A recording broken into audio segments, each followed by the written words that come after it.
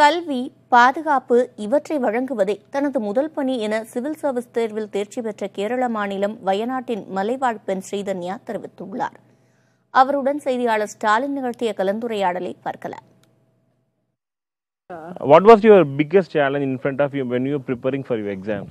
Of course, financial constraints because we are. I'm hailing from a poor tribal family in Wayanad district of Kerala, and we have only one income that is Mandrega, no other income.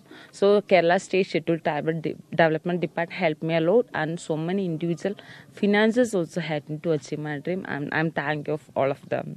Uh, when you clear the exams, I have heard some uh, something about you. Uh, you are excited about your exam results, but you are a bit disappointed. Why? Yeah, I'm a bit disappointed because I have some somewhat better rank within 100. But I got only one four ton. Uh, It's okay because I have cleared one of the toughest uh, exams in the India. So I'm happy. Happy now. Uh, what is your message to a tribal IAS uh, civil service aspirants? Uh, it's a field to come everyone. It's not. Uh, it's not only for a financially or socially or politically secure student. It's for all. So just for dedicated hard work and dedicated mind to keep. Please keep your dream as a true one. If you keep your dream as a true one, you can achieve anything under the sun.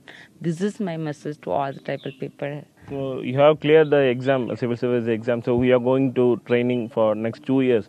What you what was your goal? Uh, Whether IAS or IPS or IAS? Of course, IAS, Indian Administrative Service. Uh, main focus will be always on education because only education can change the world, nothing else. So, my first preference will be on education, then tribal land right, then tribal women's safety, and all other security issues of the tribals.